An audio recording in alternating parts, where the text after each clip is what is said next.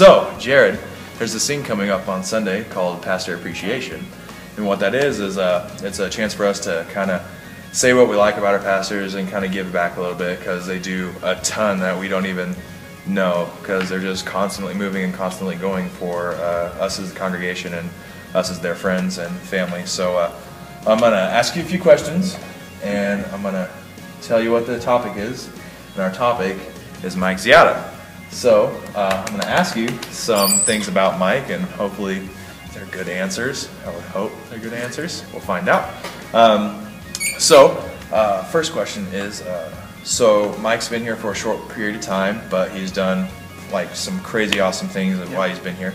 Um, so what I would ask you is, uh, what, what are some characteristics you like about Mike? Like, not just him being tall or anything like that, but uh, what are some uh, attributes that you like about him that he's done so far?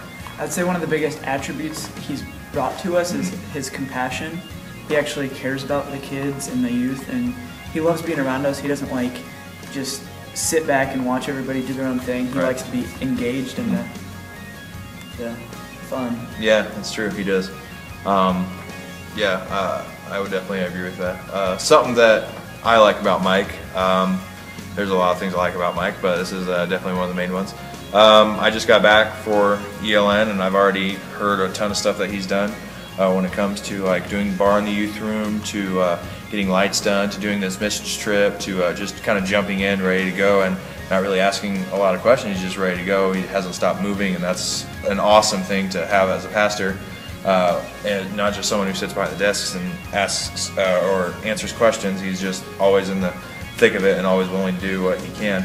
And so that's definitely something I really like about him, and it's a really good attribute to have. Um, another question, Jared, is uh, when it comes to all the youth, you're kind of going to answer for all the youth. Don't feel too pressured here. Okay. But what would you say one of their one of the favorite things that the youth has talked about Mike? What would you say is one of the best attributes out of the whole youth? What they would say they like about Mike? What is one of those things? Some pressure on me, but I'd say most of the youth would agree with me in saying this that he is very biblically smart, Very. that he knows his knowledge, and like if you have a question about any book of the Bible, he will he can probably answer it. And Yeah, I, I think true. that's amazing that we have a leader that we can go to and talk about that. True. All right. Well, that's really good. Um, definitely uh, piggyback that. Uh, Mike coming into uh, being the leader for my ELN uh, definitely knows his stuff. That's for sure. Um, not knowing a ton about ELN, he also just jumped right in, was willing to do the task, uh, and he just always there, willing to help me learn, to teach me as well.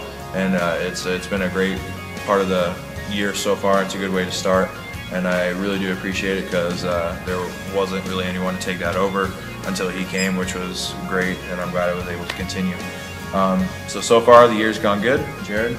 Yep. So far with the youth, it's gone good. Um, just want to say uh, we appreciate you, Mike. We appreciate all the other pastors, and uh, we just hope this Sunday goes well for you guys. And we just we can't even thank you enough for all the things that you do for us, and we just really appreciate it. And uh, wish we could give back even more, but uh, hopefully this will sit well with you guys. I know it's not a brand new car, but you know, love for me and Jared, that's just got to be as good, right?